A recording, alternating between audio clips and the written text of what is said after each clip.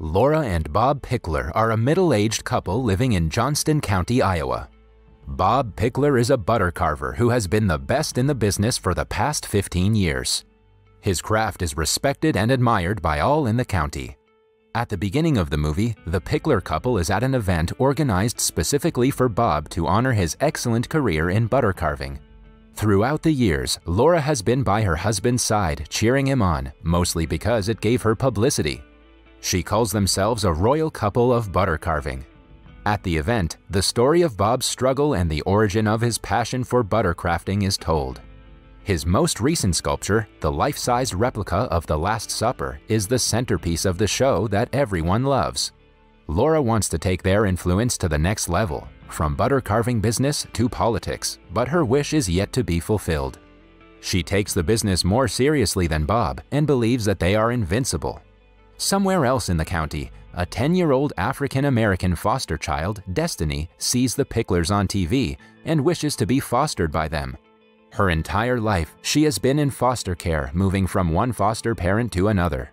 She has lived with extremist Christians and drug addicts. One time, she was even adopted by an old couple who died when she was in the house. One day, she is taken to the Johnston County Carnival, where she sees Bob's life-sized butter sculpture of the Last Supper. Destiny is so fascinated by the sculpture that she walks into the cooler and skillfully finishes a Holy Grail cup that Bob had been working on. Bob sees her doing her thing and is impressed by her skills. He puts the cup on the sculpted table and praises the little girl. Later that week, a couple named Jill and Ethan Emmett bring Destiny home to foster her. They are excited to have added a new member to the family, but Destiny isn't so stoked. She has moved into several houses and believes that her stay with the Emmets will be a short one. The couple brings her to her new bedroom that they have personalized by painting it pink. They also ask her if she needs anything and assure her that she is safe to talk about anything with them. In the meantime, because of his dominance, Bob is requested to abstain from future butter sculpting competitions to give others a chance. Bob politely agrees to retire from participating and is happy to be on the judging panel. However, the state head judge Orville is worried about Laura because of how seriously she takes the competition. He is almost scared she will attack him for asking Bob to retire. At home, when she is informed of the matter, she knocks down a vase. She even threatens to call the governor to kick Orville out of the position for proposing such an absurd idea. For Laura, their butter sculpting business is her only pride and joy in life. It is the only thing keeping her relevant in society, so she doesn't want to give up on it ever. She belittles her husband for not standing up for himself and claims it would have been better if she had married Boyd Bolton, her high school sweetheart and a car dealership owner. Bob, who is used to being insulted by her, is still hurt. He storms out of the house and drives away as Laura yells at him. Amidst all this, Bob's daughter from his first marriage, Caitlin Pickler, stays outside listening to music. She is used to her parents fighting, so it doesn't bother her as much. Following that, Laura drives to Orville's house to talk about Bob's retirement. The old man hides in his bedroom, scared of her. At last, his wife has to send Laura away. In the meantime, Bob goes to a strip club and locks eyes with a stripper named Brooke. She seductively gives him a lap dance and offers to take things further if he gives her enough money. The pair have sexual intercourse in his car, but are caught by Laura, who is driving back to his house. She crashes her car into Bob's car, disrupting his meeting with Brooke. After returning home, she asks him to sleep on the couch for the night, but Bob has been doing that for years now. Both husband and wife are miserable in their relationship, but Laura has to stay with him to stay relevant in society. She blabbers about how they have to prepare for the next competition, when Bob says for the hundredth time that he is not competing, she claims that she will be competing this year. She believes that no other than a pickler can win the butter sculpting competition, and if Bob cannot do it, then she will. The following day, Destiny goes to her new school, which has all white teachers and students.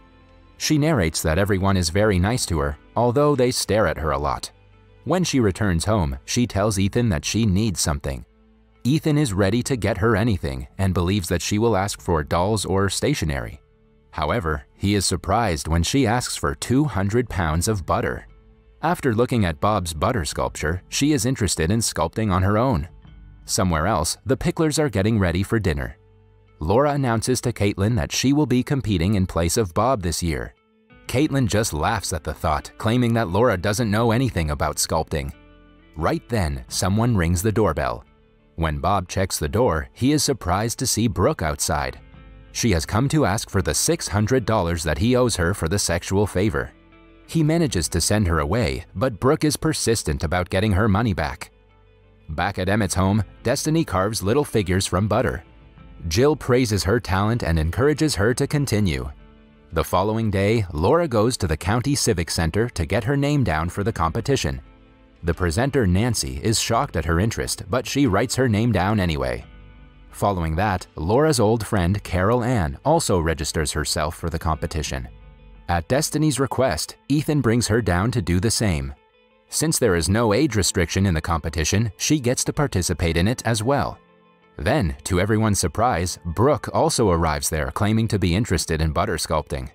When Laura insults her clothes and her profession, she angrily writes her name down and promises to destroy her. Following that, both Destiny and Laura start preparing for the upcoming competition. Laura makes considerable progress, mainly because she has been watching Bob do it for so many years. But Destiny is also as good as her. On the day of the competition, a crowd gathers to watch the contestants build the sculptures. Destiny builds a beautiful statue of Harriet Tubman on a train, while Laura builds a family of three dining together. Carol Ann, on the other hand, makes a poorly built sculpture of cats in a basket. Brooke arrives only at the last minute and simply makes a smiley face on the block of butter. Before judgment, all of them have to say something about their art. Destiny gives a heartfelt speech about being a black orphan. She and Laura are the top two, and at last the result is announced in her favor. Laura is left devastated. She doesn't want to lose the competition yet, so she thinks of a plan to make things work. The very next day, she goes to meet her high school sweetheart, Boyd Bolton. She offers to give him sexual favors in turn for a little help. Meanwhile, Brooke comes to the Pickler's residence yet again to ask for money. This time, Caitlin lets her in. Fascinated by her looks and personality, she asks her to play Truth or Dare. Things escalate quickly, and the two end up having sexual intercourse. Brooke still asks her for the money that Bob owes her, and Caitlin agrees to return it. The following day, Ethan is asked to bring Destiny to a butter company's headquarters to discuss a problem.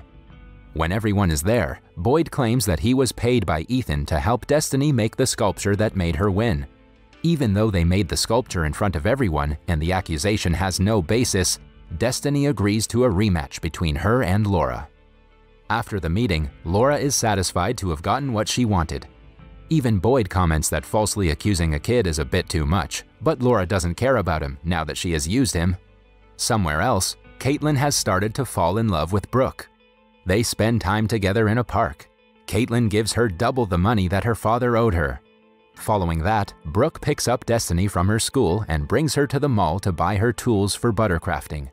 She wants to see Laura lose at any cost, so she motivates the little girl to do her best. When Destiny returns home that day, a woman from the orphanage has come to visit her.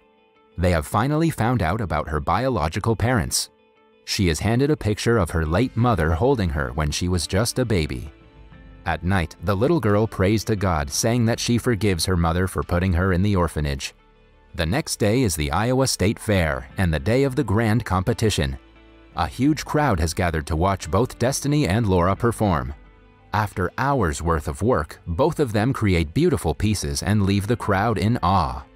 Destiny has made a sculpture of her and her mother as she had seen in the picture, while Laura has depicted JFK's assassination. The results are said to be announced the next day. After the program, everyone leaves, but Laura stays for a little bit longer. When the hall is empty, Boyd arrives there and melts the face of the baby in Destiny's sculpture. He does this to get Laura's attention again, the next morning, Destiny, along with the Emmett family, arrive at the hall and are surprised to see her sculpture is ruined.